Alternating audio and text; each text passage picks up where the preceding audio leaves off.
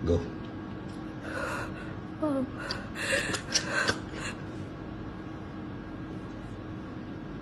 Hai hai hai, kembali lagi bersama channel Viral TV di mana gosip-gosip panas dan terkini disiarkan dan tentunya yang paling anda nantikan.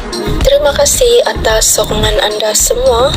Jangan lupa tekan butang subscribe dan tekan lonceng, like, komen dan share. Isu Ruhainis dan Alif Aziz akhirnya Ristina buka mulut. Pelakon Ristina mengakui kontroversi yang melibatkan dakwaan berkalwat di antara adiknya iaitu aktris Ruhainis dan Alif Aziz tidak menjejaskan kehidupan hariannya.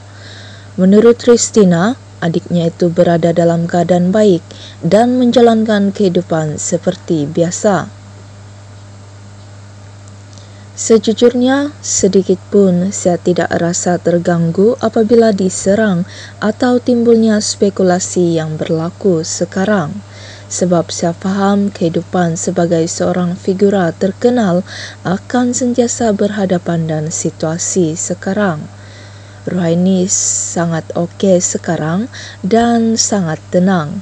Kami menjalani kehidupan seharian kami macam biasa saja, katanya ketika dihubungi gempak.